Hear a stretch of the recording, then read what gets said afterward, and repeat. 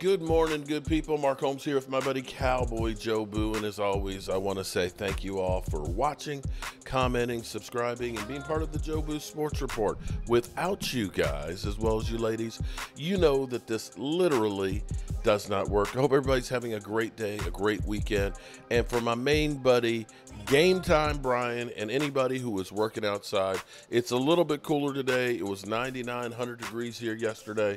I think it's going to be 93 here today. So it's a little bit cooler, but not much. So please take care of yourself.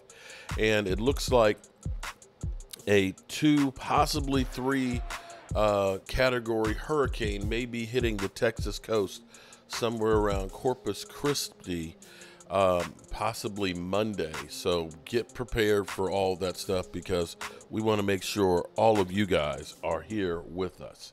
So we're in the silly season right now, good people. This is the silly season. There ain't much going on but the rent. And um, it's like on a daily basis, we have the different controversies out there.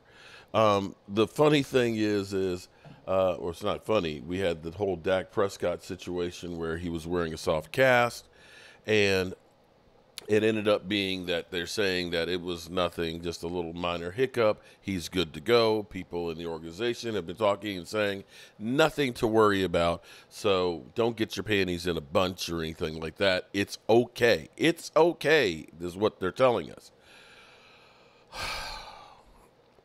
then we have something interesting is Cole Beasley, who likes hot sauce. Okay. We got Lola, who's Miss Hot Sauce.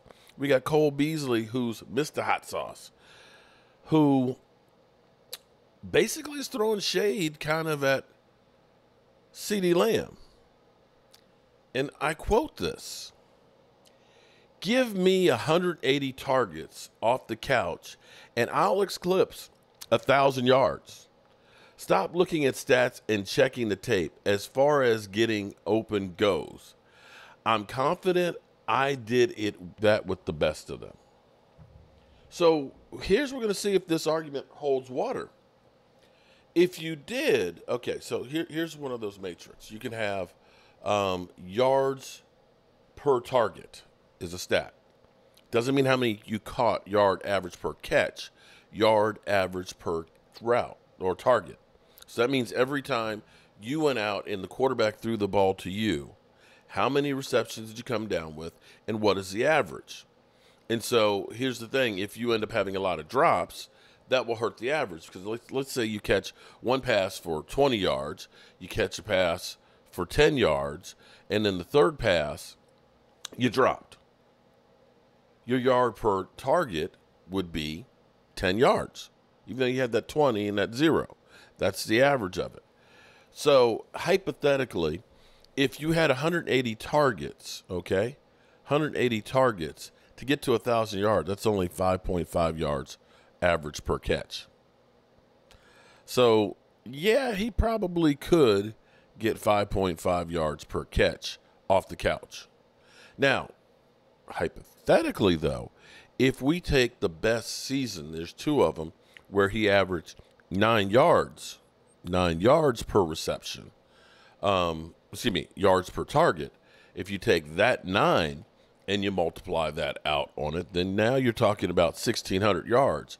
You know, about 120 yards less than CeeDee Lamb's average on his best year. Now, I don't know that he can get off the couch and have his best year again. Um, I don't think that that's going to be the case, but probably should still be decent. You know, uh, yeah. I, so there's that. So we got that shade being thrown. Now here's an interesting thing. I'm gonna I'm gonna kind of put this out here because we've got Eagle fans that are going crazy because like yeah we got Saquon Barkley. You know we're headed for the Super Bowl and things. You know we've got of course we got CeeDee Lamb and you know should we pay him because then that'll help us to get to the Super Bowl thing. But here's something that's kind of crazy here's something that's kind of crazy is it seems like and maybe i'm wrong we had zeke elliott in his early years incredible back we didn't win super bowl we had um damn what's his name? 2014, 1,800 yards, won one playoff game. You have a guy like Adrian Peterson. Actually, let me look at Adrian Peterson. Let's see. Because Adrian Peterson.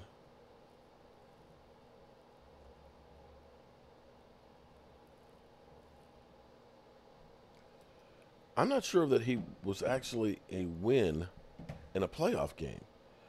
Adrian Peterson, who has probably been the most dynamic back we've had in a very, very long time, because we're talking about Adrian Peterson having 1,300 yards, 1,700 yards, almost 1,400 yards, 1,300 yards, 2,097, a 1,200 yard season, a 1,400 yard season, a 1,000 yard season with uh, the Commanders. And let's look at playoffs. Wow. He played in five playoff games, being one of the best running backs in football. Um, his average in the playoffs, this is kind of interesting. 2008, 4.2 yards. In 2009, 3.6. In 2012, 4.5. And in 2015, 2 yards.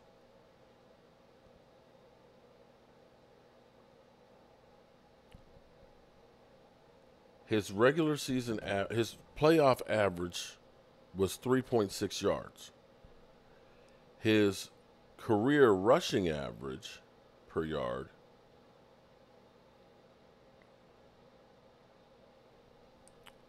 hang on. This thing is there's so many years here it's crazy. Was 4.6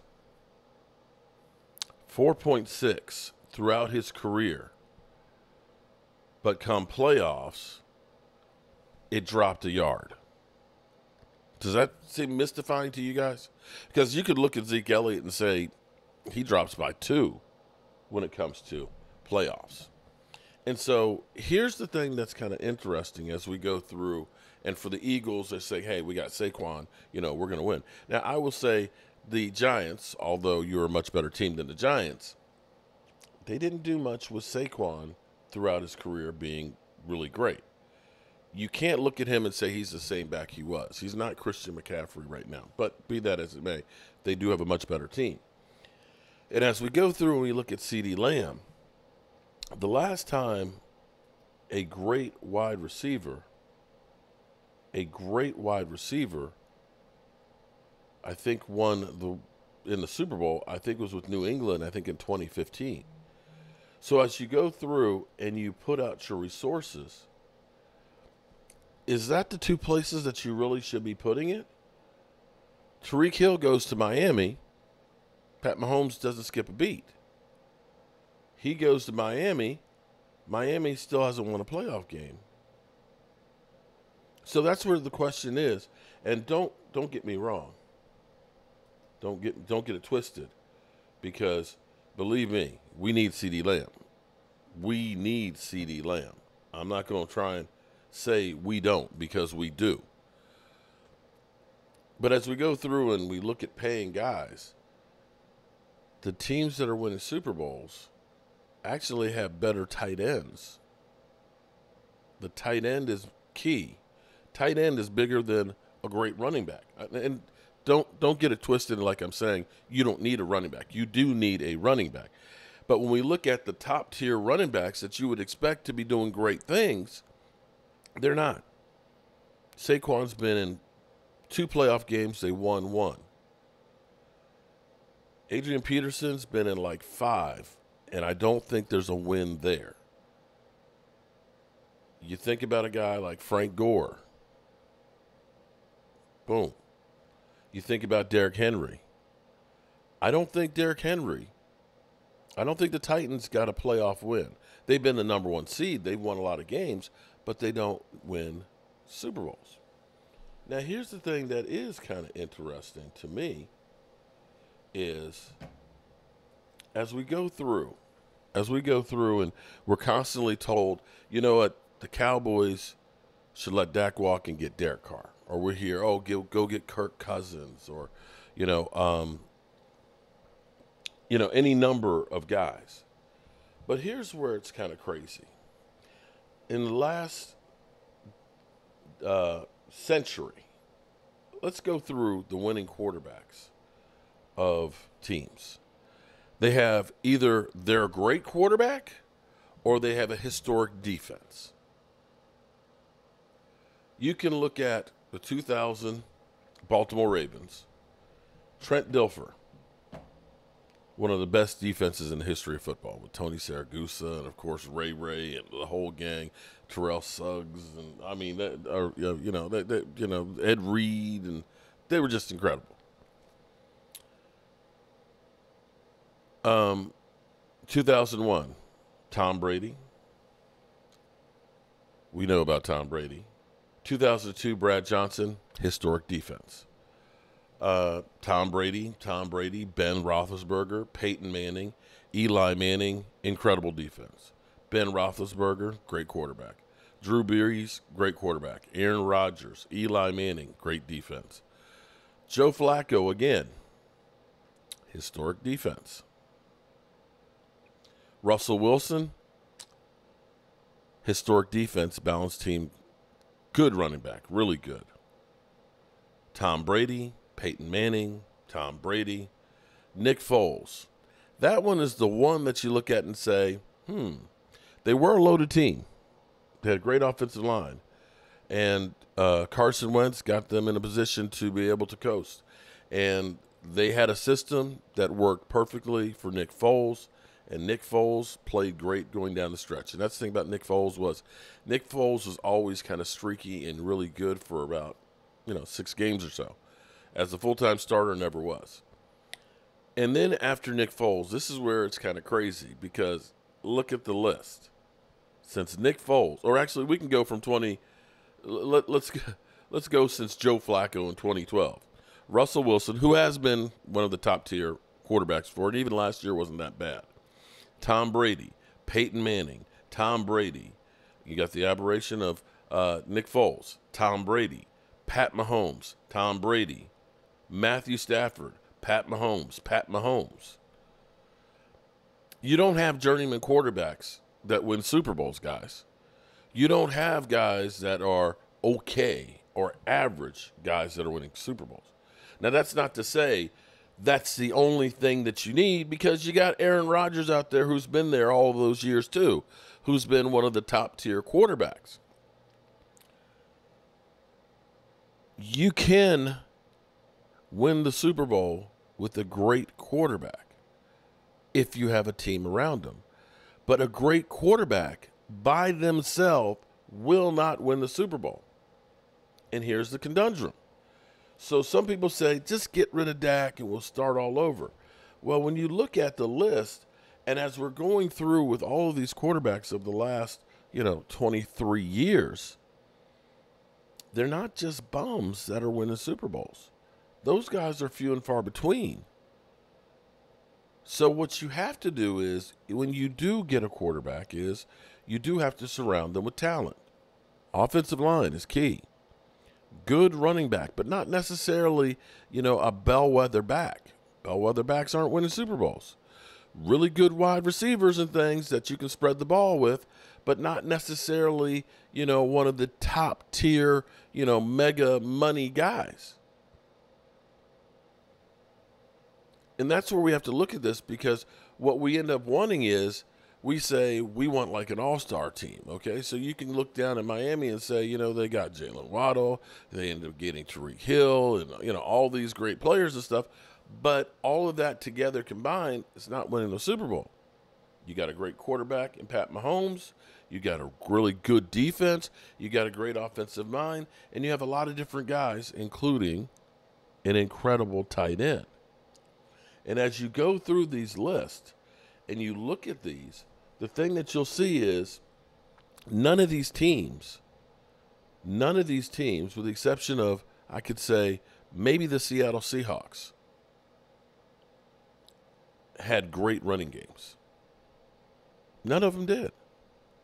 None of them had, you know, the top tier wide receiver either. It's kind of crazy, don't you think? So I don't know what the solution is. I know you need to have a capable running game that scares people. I know you have to have several guys that can catch the football so that way you can be balanced. And I know you have to have a defense that can give you the ball back and stop the other team. And that's what we need as far as to win a Super Bowl. We've got some of those parts. We got the quarterback. We just have to get everything else to go around them. Here's the interesting thing with Cam Newton. This whole Cam Newton thing is actually about 20 minutes long that he spent talking about Dak and who you take over Dak and so on. Um, but listening to the beginning argument, I just want to play a little bit more of this so we get a little bit deeper with Cam Newton. Man, ain't hard to find. I ain't been hiding. They know how to get in contact with me. So if y'all want Boogie to step into Bank of America, King of the Queen, I would love to bring some motherfucking energy and juice to the motherfucking stadium. So you would sit in the chair. Will I? You going to the soccer game? Holla at me. Just I call me. Just call me. I'll I'm one call away, bro. Come on, It man. ain't never a 45 minute flight, four hour drive. Come on, Just man. give me a little gas money. We'll, we'll work all that other stuff out. Yeah. Give me a little steak and a little. I'm a business man. Yeah, come on, that's. Politics is good. Next clip. so here we go. Newton's Law. Has Dak earned Here we go. the massive payday pick? Uh-huh. And like when you really think about what's happening, the quarterbacks who have signed massive deals, Yeah. uh, from Trevor Lawrence Yes, to uh, Joe Shiesty, Sean Watson. Deshaun Watson, quarterbacks of like that, like it's only a ticking time bomb until it's Dak's turn. So, I mean, when you think about it, I got my take. Okay. Bring your clip up. All right. So this clip started a little controversy. Well, let's see what they got to say. Dak Prescott's on the left, no name quarterback's on the right. Those two quarterbacks statistically are the same guy, meaning the guy on the right's not better than Dak, Dak's not better than the guy on the right. I want you to see who Dak compares to in real time with real stats in the NFL. Three, two, one, reveal. What's up? My homeboy. What's up? What's up? Now press pause Dak right Prescott, there. And if you haven't Dak seen this clip, Prescott is at go look at the clip. It's not hard to find. What I will say to this is that you make or break who you are and who your legacy is by the playoffs. Mm. That's it. Yeah. That's it. But this is the thing. If I were to talk to Dak, right, Okay. Talk to Dak. I would say this. Go for a high signing bonus. Put y'all on game real quick. Brady Okay. did it for years. High signing bonus. Keep your base salary low. Mm. Right? What does that do? It doesn't go into the cap. Mm. So you can get a signing bonus of 35, 40 million. Crazy work. Yes, sir. And then just make 2 million a year, which is still crazy work. Yeah. right? You already got your money. I think what Yeah, he's identified and what he's done has already told the organization, like, yo, y'all know what I am, y'all know what I can do. Correct. I just need the pieces in place. Why doing it that way is so beneficial is because he has a guy by the name of uh, Cordell Demarcus Lamb. I don't even know what the CD stand for, but I tried, and he gonna need his money too. Yeah, he gonna need his money. You did. That's how you protect him. Okay. Pay that man. Cause don't think CeeDee ain't saw Justin Jefferson. Don't think CeeDee ain't thinking that uh, Ja'Marr Chase. Don't think it's all these things Yeah. that you Mm-hmm. All these guys. uh, uh, uh, uh. I got to get me, me. Okay. You dig? Cause I'm seeing you get you, you, you. okay. You dig what I'm saying? Yes, sir. So, Dak, Dacavius, sign a large signing bonus Large son and of a a low salary. You don't need no more money. Because we just came from, so we already seen what he did picking 2021. Yep. Huh? Signed for four year, 160. 60. What, 66 guaranteed? Yeah, I want to say 66 guaranteed? Hun- 126 guaranteed. Double that, silly man. Dumbass boy. Uh, 126 guaranteed with how much signing bonus? 66. So that's already telling me you don't need no money. You just need to worry about now. Mm-hmm. Legacy. How do you do that? Cool. We ain't doing what we doing for free. Okay. Especially when There you you know go. somebody else is making more than you and that you better than, but that's just a competitor in you. Mm-hmm. Don't get me started on that. But I'm gonna keep the main thing the main thing. Yeah, the- the so back at the end of the day, you get a large upfront money Okay. sign a bonus, and then you keep your base salary low. So you can take care of guys like CeeDee Lamb. You can take care of guys like another number two receiver. It may be uh, um, Michael Gallup. Um, it may be another. You got more money to play with for other players. To That's gonna be your so team, right. important class. But they got a super squad already. Yeah, they do. But they gonna have to don't know get paid. how they have a super to squad? win. They've got- when it counts. That's true. I mean, for the last two to three years, I'm so tired of Skip Bayless talking about money. I'm tired of Skip Bayless too. So the question is, is he correct? Do they have a superstar team and that they just fall short? I don't know. I'm just sitting here looking at those numbers. Those things actually it surprised me that Adrian Peterson's numbers had fallen as much as they did because it seems like you know the philosophy I think has been the problem because I bet you if we go through and we look at most of those running backs that by the time you have been a bellwether back and you get to the playoffs you have taken so many hits and your body is just battered and bruised, you're just not as effective. And if you've been relying on having the running game all season and then you don't have it in the playoffs, that hurts. That hurts. And that's one of those things that the Cowboys need to fix. And so we'll see what we do. At the moment, you know, I- believe the team will be good like they've been the last few years, but I don't know that they have enough to make it deep. I just don't know. I really don't know. And I guess only time will tell. All right, good people. As always, I appreciate each and every one of you guys. And uh, any news or anything that happens as we sit here 61 days away from the season beginning, uh, we'll be sure to bring it to you.